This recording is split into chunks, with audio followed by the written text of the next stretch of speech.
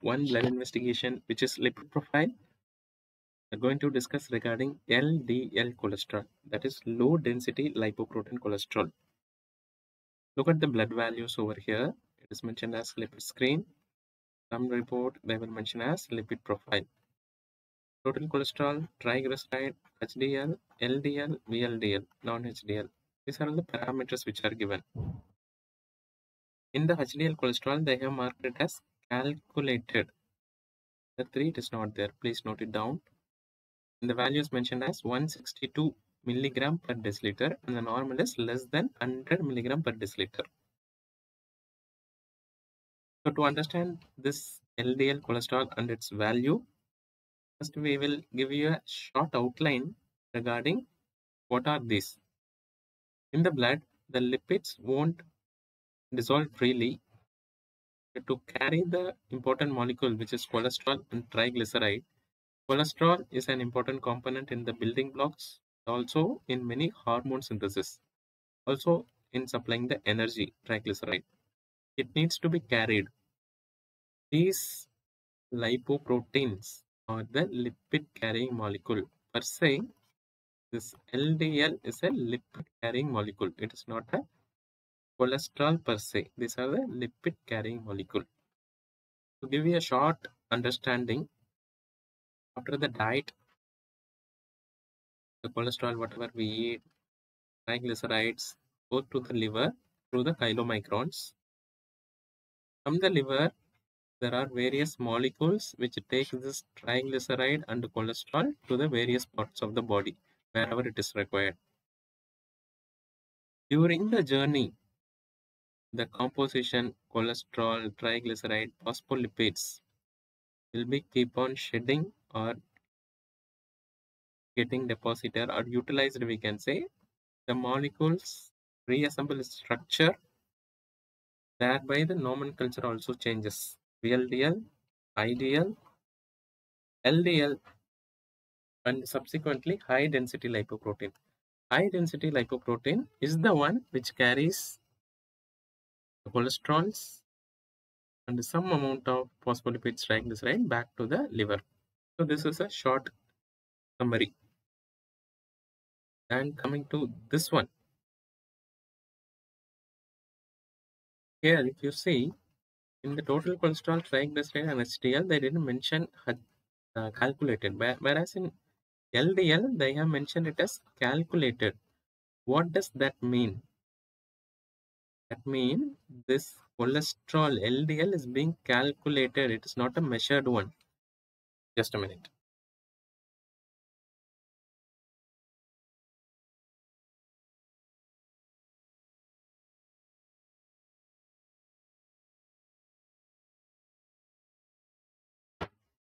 Sorry for the interruption. This LDL is being calculated. It is just a mathematical calculation from these value total cholesterol, triglyceride, HDL. These are all the three important values. The rest three are just calculated from this. There are certain labs which specifically measure these also, but most of the lab just calculate these three values. So how to calculate this LDL since the topic of discussion is LDL? Low density lipoprotein is nothing but total cholesterol minus high density lipoprotein and very low density lipoprotein. So, very low density lipoprotein, a simple understanding is it is nothing but one fifth of triglycerides. Yes, there is a formula for that. Also, triglyceride divided by 5, you will get VLDL. So, LDL low density lipoprotein value is nothing but total cholesterol minus the other two HDL the VLDL. VLDL is also derived one. So let us see in this value. LDL cholesterol here is 162. Total is 254. So once you subtract 59 and 33 from this you will get this value. So that is why in the LDL and the VLDL, they have mentioned it as calculated. They have mentioned it as calculated, not in the other, because these three are directly measured. LDL and VLDL are calculated. Non-HDL cholesterol is nothing but total cholesterol minus HDL cholesterol. This is also a calculated value. So one simple understanding you can see this HDL is directly related to total cholesterol. This is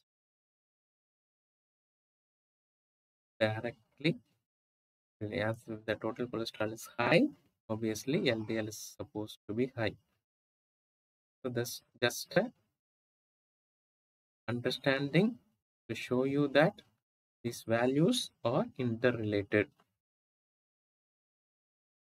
This LDL is called as bad cholesterol. Why it is called bad cholesterol? Because it takes the cholesterol, phospholipids, less of triglyceride from the liver and it will give it to the all parts of the body. In the all parts of the body, blood vessel also comes. If it gets oxidized, it might get deposited and it might cause occlusion of the blood vessel. So it is the blood vessel, the blood is freely flowing. When this kind of cholesterol gets, LDL gets deposited because of the endothelial injury or any kind of genetic predisposition, it will start getting accumulated, induces inflammation. Further deposition of LDL, thereby suddenly it occludes the blood vessel, thereby leading to stroke and heart attack. So that is why it is called LDL cholesterol. So, so far I have given you a sample report, how it is being given and how it is related to total cholesterol. What is the journey of LDL, how it is being formed and why it is called bad cholesterol we have seen. Now we are going to discuss five important clinical points related to LDL, low density lipoprotein. First point, if the LDL is more than 190 milligram per deciliter, always think of some genetic cause the name is familial hypercholesterolemia. There are some genetic predisposition in a young population without much risk factor, the LDL might be high. That means it might be genetic cause. Probably further evaluation treatment might be required. Suppose this much high levels are there. Usually patient will be having risk factors like obesity, diabetes, smoking and alcoholism. These kind of risk factors might be there. So more than 190, think of genetic and think of risk factors. The poor dietary habits. This is the clinical point number one. Important clinical point. Again, in the routine evaluation, because nowadays many labs are offering combo offers where you do uh, combined blood test and they will give the report. Even in the routine medical checkup, they are doing this. Whenever there is one abnormal value which is related to LDL. If the values are too high, don't right away jump and start the treatment. If there is no risk factor in a healthy adult in the routine checkup, if it comes, always repeat the LDL value and recheck it. That is after one week. And this is to be done in a fasting state. Immediately after breakfast, the values might be false. This is the second important clinical point. If values are abnormal, always repeat it after one week if there is no risk factor. Coming to the third important point, what is the target? What the level should be? The level, if there is no atherosclerotic cardiovascular risk score, that's a scientific terminology. I have to put it in simple terms. If there is a risk of stroke and heart attack in a patient, or if there is a highest risk then preferably less than 70 is a good value. If not if there is no much risk factor then ideal target can be less than 100 milligram per deciliter. There are various scores are available to decide the target. A medicine resident or someone who is uh, medico who is seeing this video you can go through those uh, calculators what is those values atherosclerotic cardiovascular risk category is there. There's already another video previously uploaded in this channel. You can go through that if you want. So continuing with the video, the third important clinical point is what is the target? Ideally less than 100. If there are many other risk factors or previously the patient suffered heart attack or stroke, preferably less than 70 milligram per deciliter, which is very good. Coming to the fourth important clinical point. Whenever the LDL is high, let us take it as 120 or 160. If it is on the higher side, more than 100, always the patient will be started on statin after, after treating the risk factor. Obesity, lifestyle changes, diet, smoking, alcohol. All these after treating the patient is having high value after four weeks, preferably statin to be started high dose, low dose statins are there.